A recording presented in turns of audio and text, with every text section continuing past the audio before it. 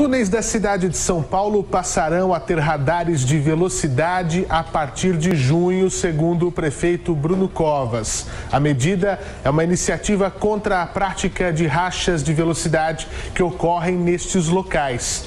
Registros da CET mostram aumento nos casos, até mesmo com acidentes, em túneis como Ayrton Senna, Max Pfeffer e Fernando Vieira de Mello. O prefeito Bruno Covas diz que a instalação dos radares pode ajudar a diminuir os rachas nos túneis paulistanos. Olha, o racha acontece aonde você não tem nenhum tipo de vigilância. Então, nós estamos identificando os túneis em que isso acontece, colocando radares nestes túneis. Não há nenhuma pegadinha. Todos os lugares que tiverem radar, nós vamos avisar a população que lá tem radar. É, não é para a gente arrecadar, é para a gente evitar que esses rachas ocorram em lugares perigosos que podem ocasionar acidentes.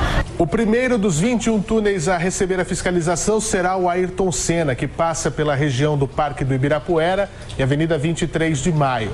Coca Ferraz, doutor em Engenharia de Transportes pela USP, concorda com a instalação dos radares, mas faz duas ressalvas. Primeiro, utilizar uma quantidade de radares que seja suficiente para evitar a utilização de velocidades altas ao longo de toda a extensão do túnel.